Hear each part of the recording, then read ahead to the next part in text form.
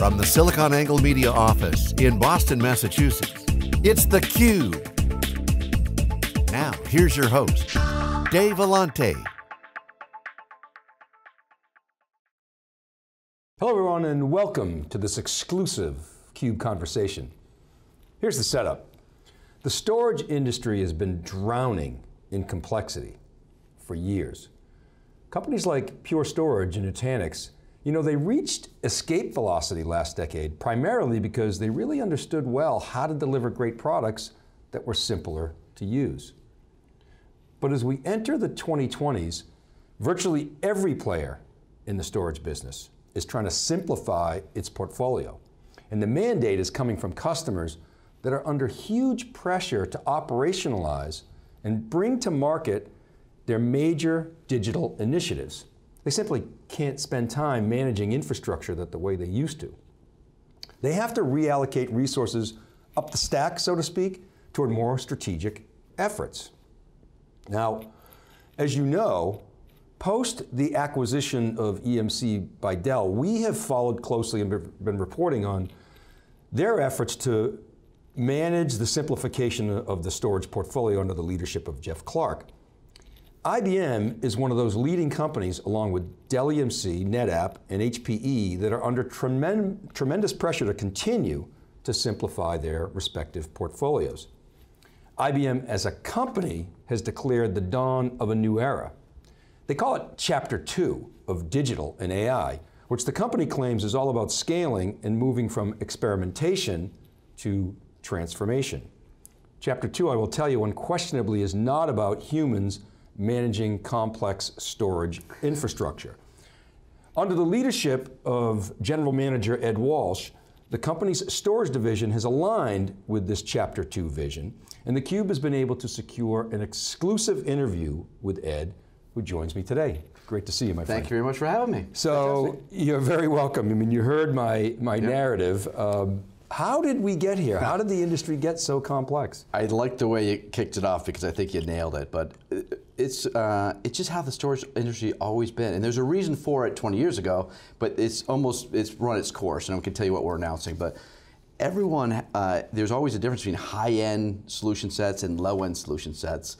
Uh, in fact, they were different. There was custom silicon on the high end, so think about EMC Symmetrix in the day. It was the ultimate custom hardware and software combination. And then the low end storage, well, it didn't have any of that. And then there's a mid tier. But we actually, everything's based upon do. So think about, you know, you need the right availability, the right price ports, feature function, uh, availability features. It made sense that you had to have that unique thing. So what's happened is we're all doing, you know, sustaining innovation. So we're all coming out the next high-end array for you. Um, EMCs, the next one is hashtag next generation storage, right, or mid-range. So they're going to do redo their mid-range and then low-end, but they never come together. But this is where the complexity, you're nailing it. So no one's a high-end or low-end shop. They're, they basically use it all. But what they're having to do is they have to manage and understand each one of those platforms, how to maintain it, it's kind of specialized, how to report on it, how to automate it. Each, the automation requirements are different, but then different APIs to actually automate it. Now, the minute you want to say, okay, now help me modernize that and bring me to a hybrid multi-cloud, now you're doing a kind of complex thing over multiple ways, and it cuts different platforms, which are all completely different. Mm. So and now the key thing is, in the past, it made sense to have high-end silicon with high-end software, and it made sense, and different low-end, and basically, because of the, some of the innovation we've driven, no longer do you have to do that. There's one platform that allows you to have one platform meet those different requirements and dramatically simplify what you're doing for enterprise. So, we're going to talk a little bit sure. more about what you guys are announcing, but how, how do you know when you get there to this land of, of simple?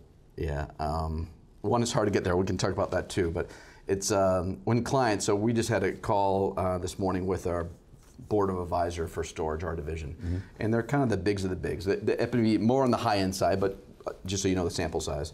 But literally in the discussion of what we're talking about, the platform, the simplification, how do you get to you know, hybrid cloud, what we're going to do on the cyber incident response type of capabilities, cyber resiliency, and literally in the call, they're already emailing their team saying, we need to do something more strategic, we need to do that, we need to look at this holistically. Uh, they love the simplicity. Everything we just went through, they're they can't do it anymore. Especially in chapter two, it's about modernizing your existing mission critical enterprises and then putting them in a context of hybrid multi-cloud. That's hard. You can't do it with all these different platforms. So they're looking for, let me spend less, you said, free up my team to do upstack things, they definitely want, don't want to be managing different disparate storage organizations. They want to move forward and use that free up a resource to do other things. So when I see big companies just literally jumping at it and giving example. I've, you know, we talked about the cyber resiliency thing. I've had four of those this week. That's exactly what we need to have done. So it's just, it just, uh, I haven't had a conversation yet um, that clients aren't actually really excited about this. And it's actually pretty straightforward. So I'll give you the benefit of the doubt. Uh, and again, we'll get there, but assuming, assuming you're there, why do you think it took so long? I mean, you kind of mentioned it's hard, but. Yeah. So uh, transformations are never easy, and typically whoever is a transformation agent gets shot in the back of the head, right? So it's really hard to get teams to do something different. So imagine every platform. Now EMC has nine now, right? So um, through it is through acquisition or others. You have VPs. You have you know VP of development, offering, and maybe sales. Um, but then you have whole teams, or you have founders you've acquired, right? So you have real people that are they love their platform, and there's no way they're going to give it up. They always come out with the next generation and how it's going to solve all ills.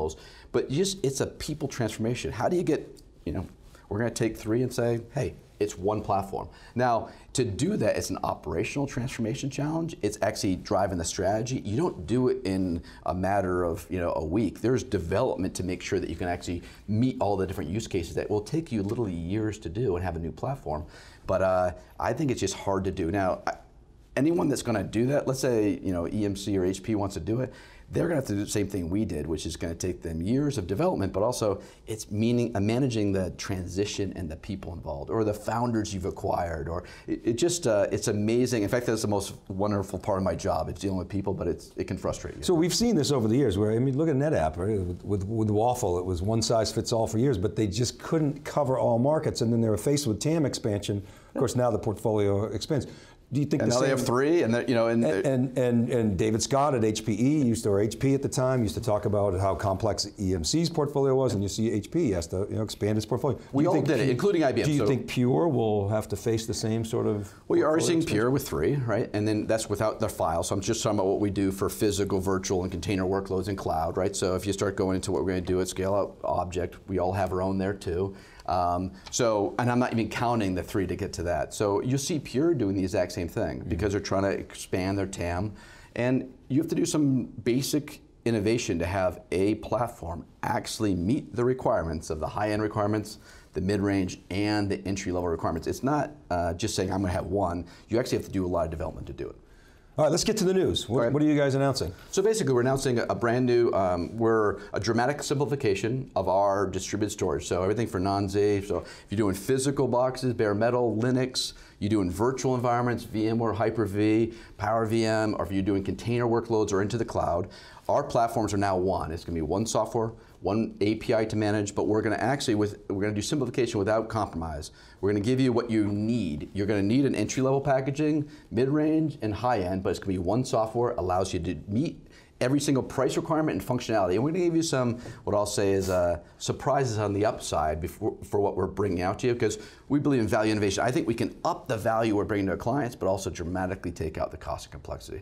But one thing we're getting rid of is saying the need, the requirement to have a different hardware software platform for high end, mid range, and low end. It's one hardware and software platform that gets you across all of those, and that's where you get a dramatic simplification. So same OS. Same OS. So normally what you would do, you would optimize the code for the high end, mid range, and low yeah. end. Why are you able to address all three with one OS? How are you able to do that? Took us three and a half years. So there's actually, so I'll talk about a couple innovation pieces, right? So uh, on the high end, you have customized silicon. We do, everyone does. So we had a it was a Texas Memory Systems acquisition. Sure. It was a, a flash drawer 2U, about 375 terabytes, uncompressed eDO. Pretty big, chunky. You had to buy in big chunks, so it's on the high end. That was the unit of granularity, right? So, but it gave you great uh, value, but also you had great performance, mm -hmm. latency better than you get in NVMe today before okay. NVMe. But you get inline compression, encryption, so it was wonderful, but it was really ultra high end. Mm -hmm. What we did is we took that great custom silicon and we actually made it onto what looks like a custom,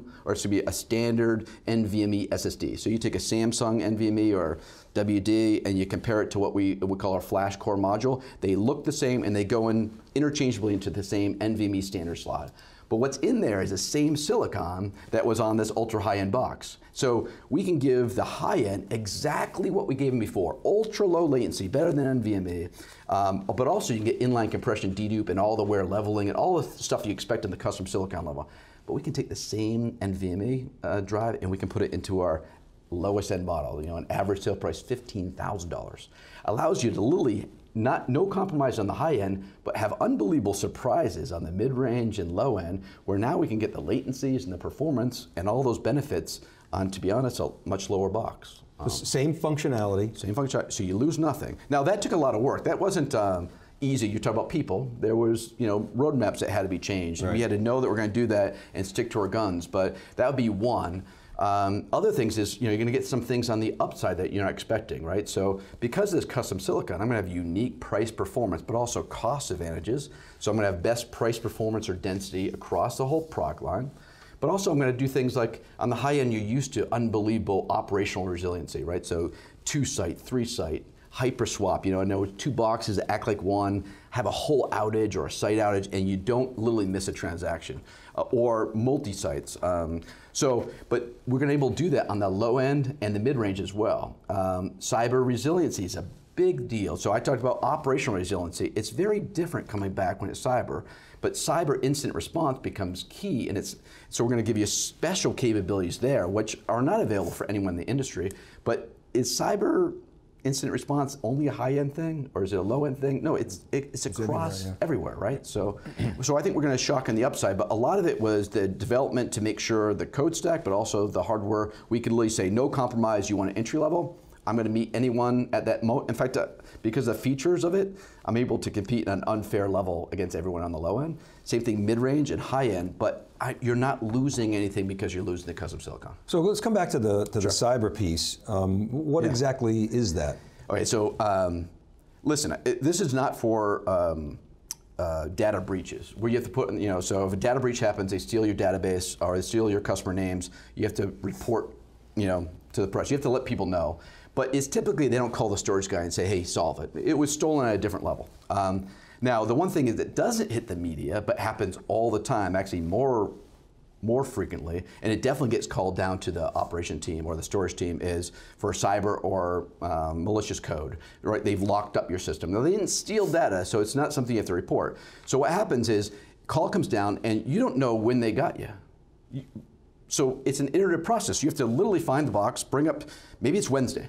Uh, oh, bring it up, give it to the application group. Nope, it's there. Bring up Tuesday. It's an iterative process, right? It's like so, drilling for oil 100 right. years ago. Nope, oh, drill another hole. So what happens is, you know, if it's cyber, if without the right tools, you use your backup. But it, it, one of my board of advisors, Lily, uh, major bank, you know, I had four of those. I'll give you one. It took me 33 hours to bring back a box. It was a large database, 30 terabytes, 33 hours. Uh, now, why did you backup? Why didn't he use uh, his primary storage, like his DR copies, everything? Well, they didn't have the right tool sets. So what we're able to do is, um, tape is great because it's air gap, but it takes time to restore and come back and running. The, the modern data protection like we have, or Veeam or Cohesity, allows recovery being faster because you're mounting uh, backup copies faster. But the fastest is your primary snapshots and your replicated DR snapshots. And if you can leverage those, but the reason people don't leverage it, and we came upon this almost accidentally, we're seeing what our, G, our services brethren IBM doing from IBM SO, strategic outsourcing, or GTS, right. when they did have a hit. And what they want to do is bring up your snapshots, but if you bring up a snapshot and you're not really careful, you start crashing production workloads because it looks like the VM that just came up. So you need to have, and we're providing the software allows you to visualize what your recover points are, allow you to orchestrate bringing up environments, but more importantly, orchestrate it into a fenced network environment. So it's not going to step on production workloads and addresses, but allows you to do that and provide a URL to the different business users that they can come in and say, yep, it's there or it's not. So even if you don't use the software before this incident, it gives you visibility, orchestration, and then more importantly, a fence uh, a, a, safe fence network, a, uh, a, sandbox to bring these up quickly and check it out and then easy promote, uh, promote to production. So that's your safe zone. Safe zone. Okay. And it's just not there. So, you know, you start bringing up snapshots. Uh, and yeah. now it's not like a DR case where you're just bringing things up. It's like you have to be really smart because you're bringing it up and checking it out. So uh, without that, they don't want to trust to use a snapshot. So they just don't use primary storage. With it, it becomes the first thing you do because you hope you've got it within a week or a week and a half of your snapshots. If it's in the environment for 90 days, now you're going to tape. Um, now, if you do this, if you put this software in place before an incident, now you get more values. You can do orchestrated DR testing. You can because we're doing this orchestrated, bring up application sets. It's not a VM; it's a sets of VMs. Fence network, bring it up. Does it work? You can use it for test dev data. You can use it for automatic DR. But even if you don't set it up, we're going to make it available so you can actually come back from these cyber resilient, these cyber incidents much faster. And this is a capability I get on primary storage because everybody's targeting, you know, the, the backup corpus Yep. for ransomware and things of that nature. This is primary storage. And we do it in our backup. So our backup allows you to do the exact same thing Uh-huh. and do the bootable copies, right? Um, and so if you have our backup product, you can already do this on primary. Um, but what we're saying is, it, regardless of who you're using, because you're, we're still saying you need to do backup. You need to air gap your backup because like WannaCry was in environments for 90 days. nobody would Uh, know, right. You know, your snapshot's only for a week or two. Um, so the fact of the matter is you need it. But uh, in this case, if you're using the other guys, you can also, we're going to give it just for this tool set. Is um is um, how does immutability does it factor? I know like for, for for instance AWS and Yep. reInvent I think announced an immutability And we use capability. that, yep. I think IBM may have that because of the, the acquisition that you guys made years ago. Yep. Is, I think CleverSafe is fundamental to that their architecture. Is that a, is that a way to to combat Yep. ransomware? So that's helpful. So immutability allows you not to change it. So ransomware and you know malware typically is either encrypting or deleting things. Encrypting is what they do, but they have the key. So the fact of the matter is they're deleting things. So if it's immutable, you can't change it. Now, if you don't have the right controls, you can delete it, but they can't change it. They can't encrypt it on you. So that becomes critical. So what you're looking for is we do, like for instance, all of our this, this flash system allows you to do these snapshots, local or remote, that allow you to have and go to immutable copies, either in Amazon, we support that, or locally on our object storage, or in IBM's cloud does allows that to do that. So the different platforms have this immutability that our software allows you to integrate with. Um, so I think immutability is kind of critical. right? So How about consumption models? Um, the way in which you're packaging and, and pricing. People want to. The cloud has sort of changed the way we think about this. How have you responded to that? So you hit upon our chapter two. We, IBM uh, actually resonates with the clients. It's chapter one. We are doing some lift and shift, and we are doing some new use cases in the cloud, and and they had some challenges, but it worked in general. But we're seeing the next phase two is really now looking at the 80% of your key workloads, your mission critical workloads, and basically how you transfer those in. So um, so as you uh, basically, if you look at your chapter two, but you're going to do the modernization and you might move those into the cloud. So if you're going to move them in the cloud, they would say, well, I'd like to modernize my storage, free my team up because it's simple, I don't have to do a lot of things. But you need to simplify so you can now, you know, modernize so you can transform. But I'm going to be in the cloud in 18 months, so I don't want to modernize my storage. So what we have is, of course, we have you can buy things, you can lease things. We have a utility model that's great to three to five years, but we have now a subscription model, which think of just cloud pricing. Uh, no long-term commitments. Use what you use, up and down. And if it goes to zero, call us. We'll pick it up, and there's no expense to you. So uh, no long-term commitments in return. So in 14 months, I've I, I've done my monetization. You helped me free up my team. Let me go, and then we'll come up and pick it up, and your bill stop that day. Cancel anytime. I cancel anytime. Do, do you expect people to take advantage of that? I mean, is there is a ton of demand at this point in time? I think uh, everyone's on their own cloud journey. So we talk a lot about meeting the client where they are at, right? So how do I meet them where they're at? And everyone's on their own journey, right? So but a lot of people are saying, um, hey, I, why would I do anything here? I need to get there. But if they can modernize and simplify what they're doing, it allow, and again, these are your mission critical. We're not talking, these are your how you're running your business. If you can make it work better in the meantime, and then modernize it, get it to containers, get it to a new platform, that makes all the sense in the world. And because if we can give them a flexible way to say, it's cheaper than using cloud storage, uh, like an Amazon or IBM cloud, but you can use it on-prem, free you up, and then at any time, just return it. I, that's a big value that people say, you know what, you're right, I'm going to go do that. You're able to give me cloud-based pricing down to zero when I'm done with it, and now I can use that to free up my team. That's the value equation. I don't think it's for everyone, but I think for a segment of the market, um, I think it's critical. And I think IBM's kind of like perfectly positioned to do it with our balance sheet to help clients out. So how do you feel about this? I mean, obviously you put a lot of work into it. You seem pretty excited. Um, do you feel as though this is going to sort of help re-energize your your your uh, your business, your customer base, and how do you think competitors are going to respond?